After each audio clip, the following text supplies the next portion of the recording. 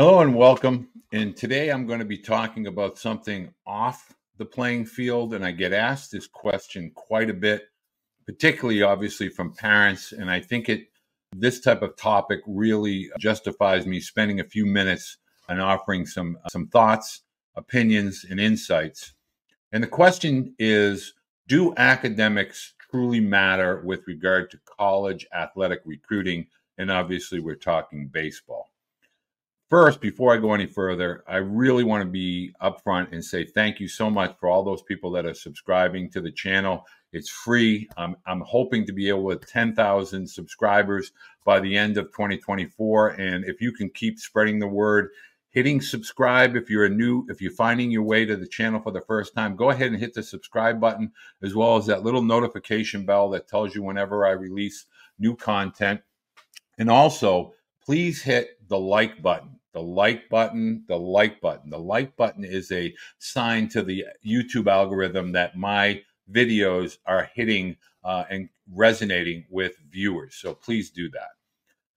Academics. You know, a lot of athletes will ask me, do my grades really matter? Parents will say, are the transcripts really being looked at? And a simple answer to that, and an obvious answer to that is yes.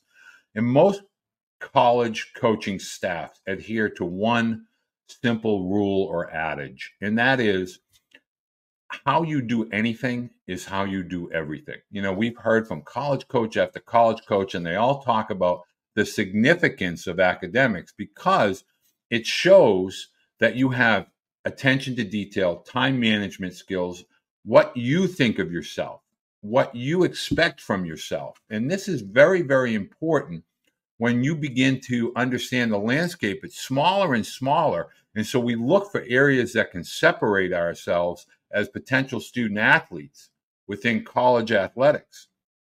And let me tell you, the biggest one is academics. Cannot stress this enough. Does this mean you must get 100 on every test?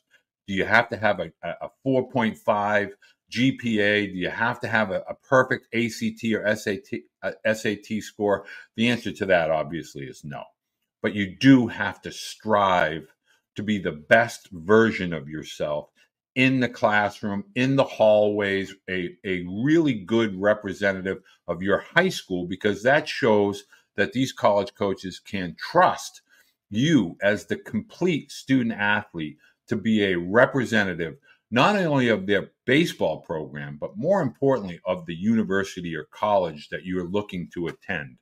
And so, one of the things I will always say to prospective student athletes is if you take the ACT and the SAT, yes, I know it's hard, but take it a few times. It shows determination. It shows that you're in, in really engaged and involved in your academics as much as you are as you are as an athlete. The next thing is study habits, time management. Time management is an integral part of being a college student athlete. It's probably one of the most biggest parts of your foundation as a college student athlete is understanding not to be uh, a procrastinator. You understand being proactive and not reactive with regard to your academics or your athletics. And so, what I always try to tell student athletes set aside time set aside time to be a study uh, uh, student you know make sure you have your your homework assignments attention to detail to the best of your ability. If that's 3.2 and you're busting your tail to get a 3.2 college coaches respect that. You know you you're looking for a letter of recommendation from an academic from a teacher. Get that teacher that you got that b plus in and you really worked hard to get that b plus. That shows that you are really a worker and strive to be the best version of yourself on and off the field.